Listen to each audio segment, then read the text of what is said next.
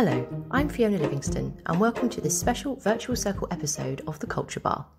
In this series, we explore online streaming and digital content for classical music and the arts, thinking about what the future might look like, and also giving tips and insights into the digital space and how it is developing for classical music, but also how you can access and interact with it at home.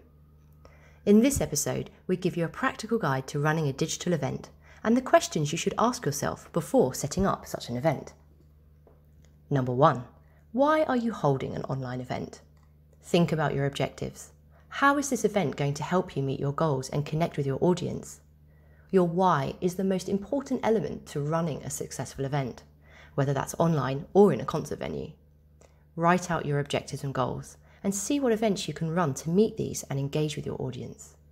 You might want to host an event to perform a concert, promote a new album, run an educational workshop, or even host a Q&A or talk show. Whatever your why is, make sure it is true to your values and what you stand for, and isn't just a fill in because you are worried about losing presence or have a fear of missing out. FOMO. Number two, do your research. Research is important to finding your niche or a trend that inspires you.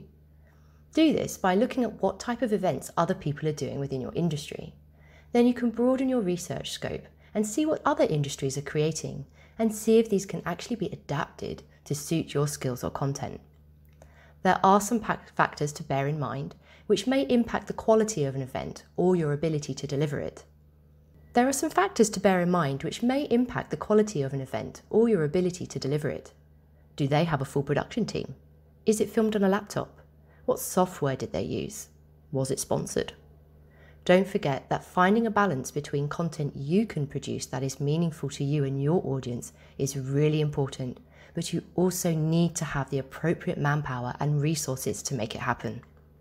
Number three, how will you engage with your audience? In a physical concert hall, we get an instant connection with the atmosphere in the room, which builds excitement and connects us to everyone else there. The challenge is to try and recreate some of this connection online what techniques are you going to use to ensure that your audience stays hooked on your performance? Here are some techniques you can try.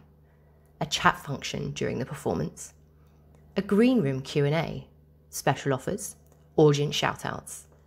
Number 4, free or ticketed. This is a really important question to think about.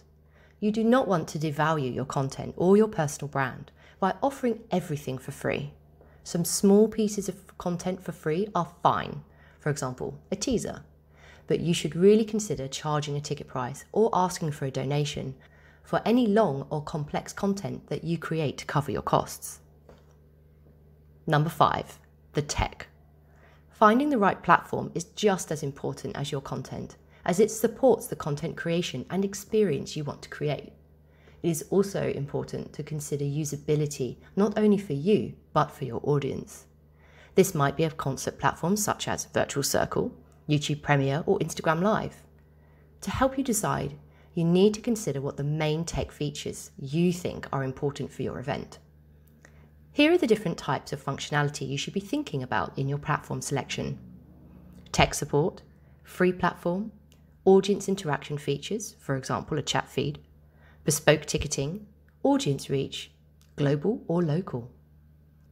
Once you decide what functionality you are looking for, selecting the right platform will become much easier. Thank you. And to find out more about Virtual Circle, please visit the Harrison Parrott website and to read more of our blog articles. Thank you.